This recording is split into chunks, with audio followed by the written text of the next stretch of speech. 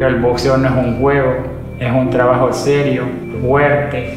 Como dicen muchas personas que el boxeo es para brutos, pero es mentira, es para inteligentes.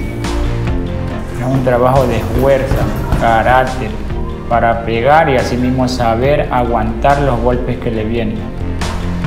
Porque es el deporte más duro que puede haber.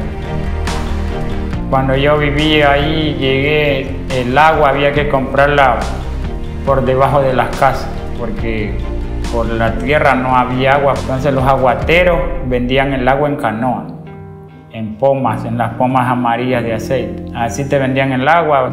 De ahí el tiempo, ya ve cómo va cambiando, va cambiando. Ya todo está adoquinado, pavimentado. Ya la Trinitaria ya, ya es una ciudadela. Bueno niños, ya saben a qué vinimos, ¿no? Vinimos a trabajar, preparando. Vamos a trabajar fuerte, son dos horas de trabajo. Trabajar con el 3, izquierda, derecha y salimos con la izquierda. Vamos, 15 minutos de calentamiento. De cada zona, que son los, barrios más peligrosos, yo trato de jalarme un niño de ahí, ¿sí me entienden?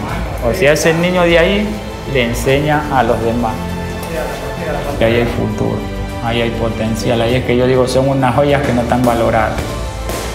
Cuando los veo que ganan, le digo, ven para que los trabajo, para eso se trabaja fuerte, para que no les peguen.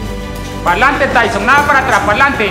Eso es muy bien, vacantísimo. Otra vez, bautízalo, eso es, tócalo, tócalo, eso, ya está. Cualquiera no van a los Juegos Nacionales, van los mejores. Van los mejores y los más fuertes. ¿Cómo no me voy a sentir feliz? ¿Cómo no voy a ver la diferencia en mi trabajo?